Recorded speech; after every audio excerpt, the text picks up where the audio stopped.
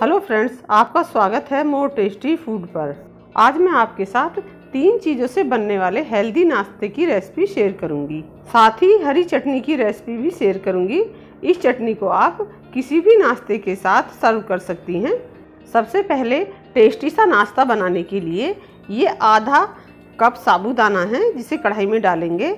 Gas की flame medium रखेंगे। लगातार चलाते हुए साबूदाने को भूनेंगे। यहाँ मैंने साबूदाने को भिगोकर नहीं लिया है। ये कच्चा ही साबूदाना है। इसे सूती कपड़े से पोंछ लिया है। साबूदाना तीन चार मिनट अच्छे से भूनना है, तभी ये आसानी से पिसेगा। साबूदाना अच्छे से भुन गया है। अब गैस की फ्लेम ऑफ़ करेंगे और इसे प्लेट में निकाल लेंगे। फिर से वही कढ़ाई गैस के ऊपर रख ली है। इसमें आधा कप मूंगफली दाना है, इन्हें डालेंगे। ये कच्ची मूंगफली हैं, इन्हें हमें लगातार चलाते हुए भूनना है।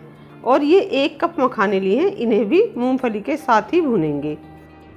मूंगफली और मखाने बहुत जल्दी रोस्ट हो जाते हैं, इसलिए मैं इन्हें एक साथ भून रही हूँ। लेकिन ये बात आपको बहुत ध्यान रखनी है कि साबूदाना आपको अलग ही भूनना है। साबूदाना भुनने में ज़्यादा टाइम लगता है। मूंगफली मखाने अच्छे से रोस्ट हो गए हैं, अब गैस की फ्लेम ऑफ़ करेंगे और इन्हें भी प्लेट में निकाल लेंगे। तो ये हम दूसरी प्लेट में निकालेंगे। अब हम ये करेंगे कि ये हमने साबूदाना भून कर रखा हुआ है, वो पूरी तरह से ठंडा हो गया है। अब उसे मिक्सी के जार में डाल लेंगे और बारीक पीसेंगे। तो मिक्सी कंटिन्यूसली नहीं चलाएँगे, थोड़ी देर चलाएँगे, फिर रुकेंगे, फिर चलाएँगे। इसी तरह से हमें बिल्कुल बारीक साबूदाने को पीसना है। साबूदाना पाउडर फॉर्म में बारीक पीस चुका है। इसे एक मिक्सिंग बोल में निकाल लेंगे। फ्रेंड्स, व्रत के लिए ये रेसिपी बहुत ही टेस्टी और हेल्दी है। इसे आप बनाकर ज़रूर खाएँ। आपको पूरे दिन एनर्जी मिलेगी। अब इसी बोल में मूंगफली दाना और मखाने को पीसेंगे, क्योंकि बाद में इन्हें हमें साबुदाने के साथ मिक्सी करना है। तो जार को धोने की आवश्यकता नहीं है, उसी जार में बारीक पीस लेंगे। मूंगफली, मखाने दोनों ही चीज़ें बारीक पीस चुकी हैं।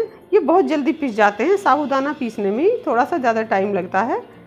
अब इसे भी हम मिक्सिंग बोल में साबुदाने के साथ डाल देंगे। अभी इसमें हमें बाइंडिंग के लिए ये चौथाई कप समा के चावल का आटा है पिसा हुआ, इसे डाल देंगे। इसकी जगह सिंगाड़े का आटा या कूटू का आटा भी आप डाल सकती हैं।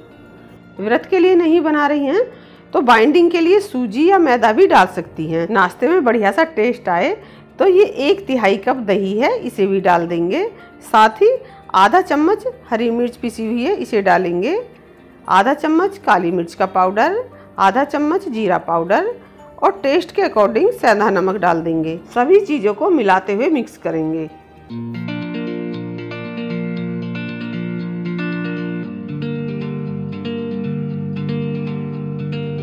अब इसमें ये नॉर्मल पानी है, इसे थोड़ा थोड़ा डालते जाएँगे और मिक्स करते जाएँगे।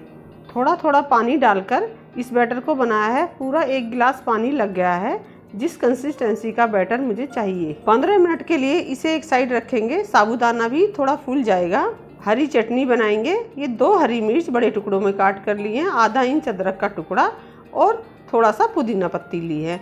इन तीनों चीज़ों को मिक्सी के जार में डाल देंगे इन्हीं के साथ हरी धनिया पत्ती भी चटनी में डाल सकती हैं।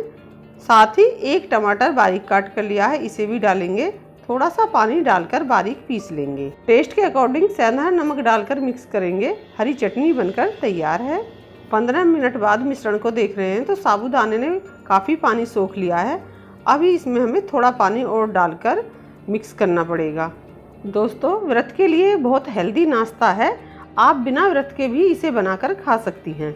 बिल्कुल इसी कंसिस्टेंसी का बैटर हमें चाहिए। यहाँ गैस के ऊपर मैंने अपम पैन को गर्म होने के लिए रख दिया है।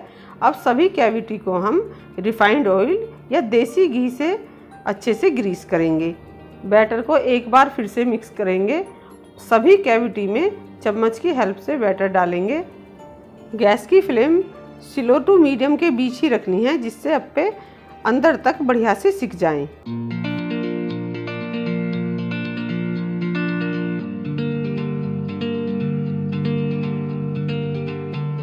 सभी कैविटी फिल होने के बाद ऊपर से लिड लगाकर पकने के लिए छोड़ेंगे और बीच बीच में चेक करते रहेंगे। तीन से चार मिनट बाद लिड हटाकर देख रहे हैं तो अप्पे नीचे से सीख चुके हैं। इन्हें मैंने एक बार बीच में भी चेक किया है। इन्हें पलट देंगे जिससे ये दूसरी साइड से भी अच्छे से सीख जाएँ।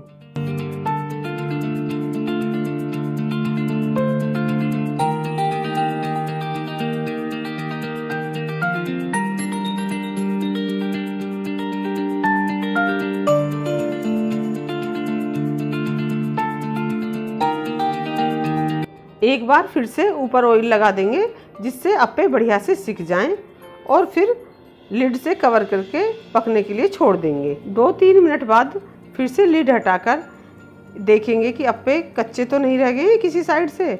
अगर लगे कि किसी साइड से अप्पे कच्चे हैं तो उस साइड से पलटकर फिर से ढककर पकने के लिए छोड़ दें। एक मिनट बाद हम देख रहे हैं अप्पे बढ़िया से सीख गए हैं। अब इन्हें प्लेट में निकाल लेंगे। फ्रेंड्स अब तो वीडियो को लाइक कीजिए।